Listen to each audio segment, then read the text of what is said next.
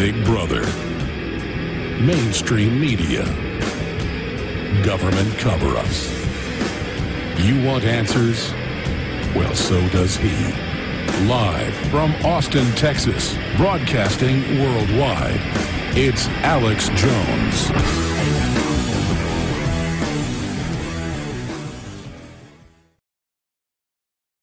It's total spin because they know they can make it a non-issue, and I believe they may finally just completely remove it from water entirely. You know why?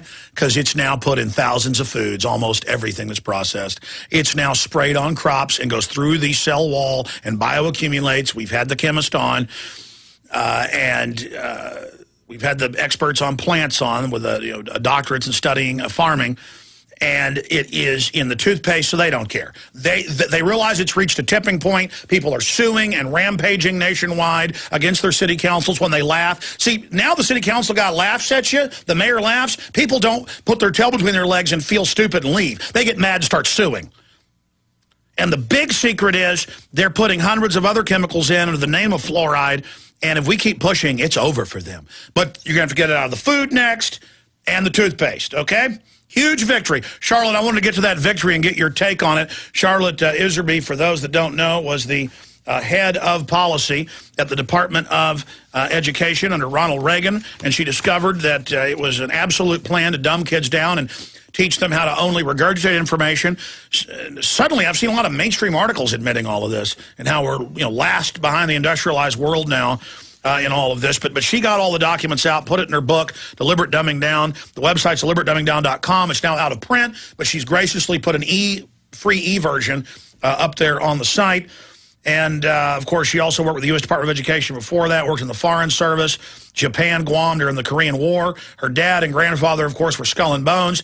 And we really appreciate her joining us. The reason she's almost for the next 20 minutes is she was on about a week and a half ago, and the show ended right as she was getting into how conservatives are controlled. And she brought up the uh, CNP, which I haven't done a lot of research on. People have asked about it, so I've done some. That reportedly the Hunt brothers helped set up and things. And uh, she was saying that that's not a real organization or that that uh, you know, isn't a conservative group trying to take America back or fight the New World Order, as they claimed, but actually is the New World Order and her experiences uh, with them. So I wanted to get her up. Charlotte, great having you back with us. Thank you, Alex. And we don't have much time today, so really it's probably just as well because the, you know, I'm going to try. It'll. It's better when I don't have a lot of time than I just have to do bullets, huh? But uh, the basic, uh, you know, this is terrible to have to tell people this, but I, uh, we are merging right now with the Soviet Union. I know, you know, people don't accept that because they had to have the phony fall of the Soviet Union so that all of you, and your, your, your listeners are smart, but so the rest of the world would really think that communism was dead.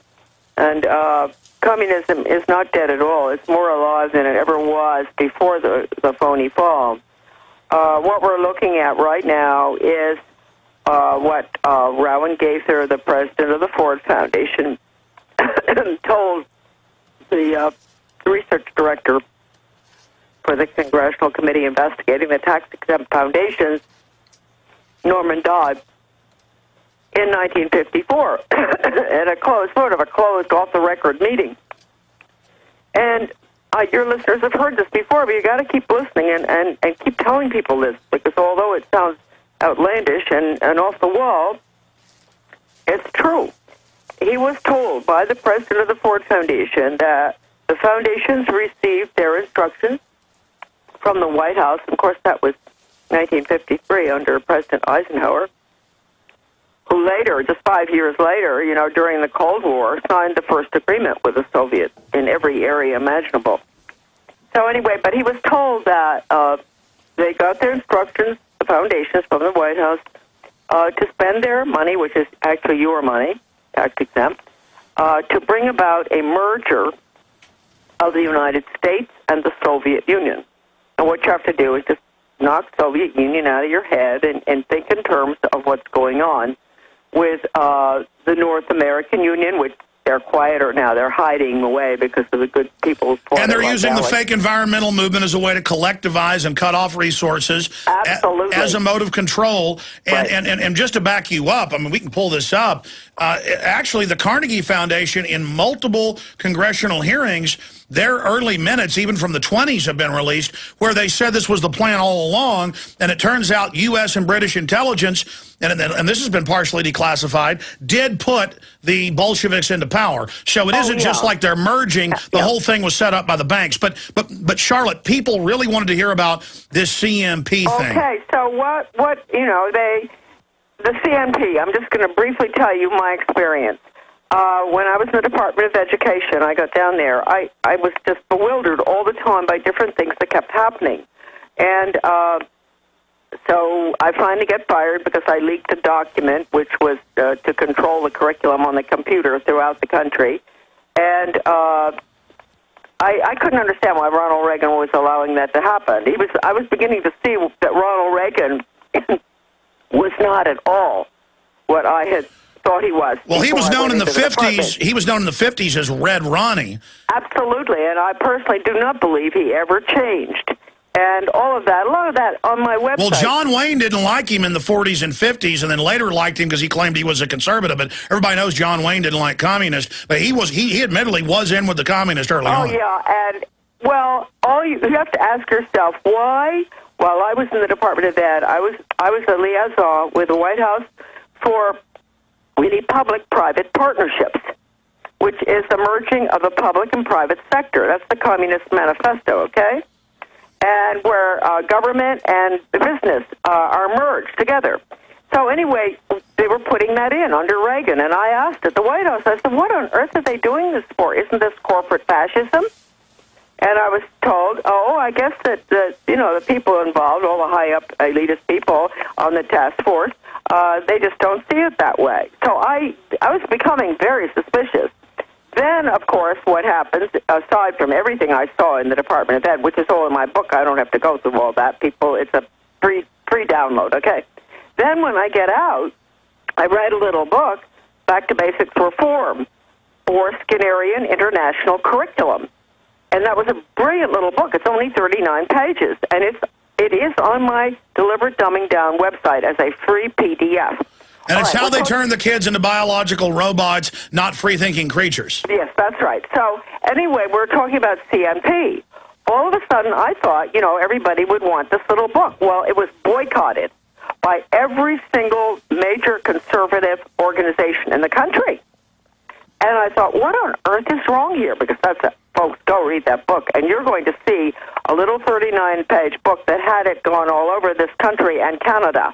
We would not now be looking at uh, school to work agenda, the Soviet system, uh, quota system for your children, which will control their lives lifelong, what they're going to do. We wouldn't be seeing that. We wouldn't be seeing charter schools, which I'll explain to you are the vehicle to implement the Soviet system. Now, I played a British government-funded cartoon for kids yesterday where they teach them that cities will be prison and that the government will decide what you're going to be. Well, that's exactly what we're looking at in the charter school movement. And the charter school movement, which is being supported by the school choice charter school movement, being supported heavily by the Heritage Foundation, the Council for National Policy, etc., is is actually the downfall of our country. I talk. We, we've got a, a, like a stool with two or three pegs. Two of the the uh, the pegs are our uh, free political system whereby we elect officials. The other peg, the most key thing for the economy, is we have a free economy. The charter schools are going to pull those two pegs right out. No elected officials, which will which will follow down into other every area after they've taken over all the schools, and all the schools in this country are almost taken over by charter schools now. There are only ten states fighting it. Okay, now the other leg is the planned economy, which requires that school to work, and the school to work needs the the charter schools, the individual schools, which will train your children, not educate them. Now, folks, you've got to fight charter schools. Well, Charlotte, you, are such a great lady. I mean, every time you come on, you desperately try to warn folks about the takeover, and, and that's important. The show ended last week, though, and I was unable to get you on the next day because you were busy. We've got you on this week, and I'll I'll hold you over a little bit. Uh, I'm sure Bob will be fine if we need to. But but I mean, I'll I mean, I'm always trying to learn more and understand all this. If you go back 13, 14 years ago, I bought this mainline conservative propaganda that let folks have school choice. Well, they oh. should at private schools, but not corporate funded, which is just the internationalization. They're now basically becoming the government. You know, wreck the old schools, federalize them, then offer the solution. Now I understand that. And also, uh, I've interviewed people over the years and a few times heard them mention CNP. Okay, well, Alex, let me talk about this. I'm going to give you a good example. You're down in Texas, okay? Yes. I realize that the CNP is just about as right as it comes. Funded by Heritage, funded all these, uh, funded by Coors, funded by all these. No, no, you're saying you ran into them. So I mean, uh, all right. Now look, I'm going to tell you how it happened. About 15 years ago, I became very. I, I thought to myself, we've got to stop this this agenda that's going in here, this merger, this whatever. And the only way we can do it, we have to get out of the UN because no matter how hard we fight on other issues, once we're under the North American Union, which is the same as the European Union, which Gorbachev calls the new European Soviet, once we're under, uh, it won't make any difference if we have an amendment to outlaw abortion or gun controls or whatever. So I dreamed up this little project to have a postcard project. Millions of postcards all over the country, which have on them legislation to get out of the UN, who you call, websites, the rotten UN that has funded every UN war, that, that, that I mean, controlled every UN war, or the Soviets are right up there at the UN controlling everything. That's why we lose all the war. All the bad stuff about the UN. Well, what we wanted to do is we'd all ha- have thousands of these little postcards, which we would spend with bills, Christmas cards, uh, put up on the bulletin board at the supermarket, uh, put under windshield wipers, get out across the country. People call supporting legislation to get out of this one. Uh, this one organization that okay. controls everything. Now, so what we did, we downloaded the names of all the members of the CNP. 300 of them. Samuel, my son did it, who has American descent. Okay, tell folks who the CNP is. Uh, the Council for National Policy is the right-wing arm of the dialectic. It's the same as the CFR, and in fact, many of the people with the CFR funded it. All right. Well, I mean, so it, but I mean, I, have always heard the right call the CFR liberal, but I mean, it's full spectrum liberals and conservatives uh, in the CFR. Oh yes, of course, and it's full spectrum liberals and conservatives. So this is like the, the this is the. Republican uh, version of that, I guess, to pull in conservatives and then and, and then control and influence them? Is the whole CNP bad? Because this is how I learned about the CNP. I mean, I'd seen little blurbs about it with the Hunt brothers. They sounded pretty good trying to corner the silver market and you know oh, get yeah, and then get us out of the New World Order. Uh, but then I saw evidence of them involved with the Kennedy stuff and Nixon. So I mean, you know, I mean, I learned more as the years go on how how how foggy all of this is. And then I get emails going, "You had Pat Buchanan on. He's CNP." It's almost like a witch hunt. Well, yeah, I have a lot of guests on. I've had a Rothschild on and skewered him on air. It doesn't mean that you know I call up his publisher and say I want to have him on about his book, get him on and go after him. Doesn't mean I'm for him. I was against him in the interview. But then there's also a lot of people who've been in the CNP, like a Dr. Paul Craig Roberts, and he's grown. You know, he's learned things. I've talked to him about it. He just says it's basically ineffectual. Oh, that is that's not true. okay, all. well then tell. Well, I mean, tell me because because you right, you know him. You didn't let me finish the end of it, Alex. go the ahead. most important part is Rosalind Haley from Midland, Texas, who Ron Paul knows, and we all know her as a great grand dame. She was a member of the CNP.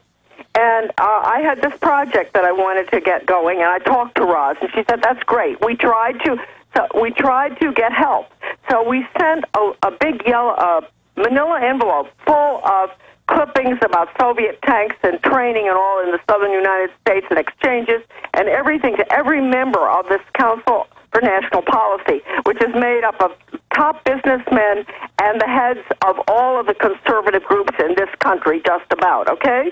And we asked for help on this project. We wanted help on this getting out of the UN project. We we got one response uh, I'll tell you, I didn't put my name on it because that's real mud. You know, I knew that they wouldn't do anything if they saw Iserbyt. So it was Roz Haley, the grand dame, the woman that they admired. She signed it. She sent it out. We got one response from Lou Sheldon at Traditional Values. We did not hear from anyone else. Now, if that doesn't tell your listeners, stay away from every single conservative group you know Stay there. We got a break. Come back and break it down for us.